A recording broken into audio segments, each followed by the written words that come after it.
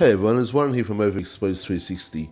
A few of you have asked me about the new firmware on the Samsung Gear 360 2017 model.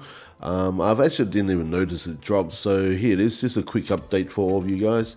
This is an update from R210GLU0AQF2 to R210GLU0AQK1. It's a 212 megabyte update. It claims to have a Bluetooth security patch, some enhancement for iPhone users on iOS 11. It, it gives you the preview features which previously were not supported on iPhones. It also changes the auto power off functions. Previously there was an option for never, now the maximum is 15 minutes. Everything still works pretty much the same on a Samsung S7 Edge phone. My normal warning to users is remember that every single time a firmware is updated on your Gear 360, it does change all your settings back to default. So the first thing I do go into is change the recording settings back to 4K and I normally have my sound and light to off so I would go and change that as well. There you go. So basically, again, do the same as usual. A quick update on something that's telling you that there's nothing's happening. And if Samsung is there, here's a list of features that I would like to see in the Gear 360 in the next firmware update or the app update. So here it goes. So hopefully that helps for those who are interested before they want to run the firmware there, and there's one on here for Moving Space 360. I'll catch you in the next video.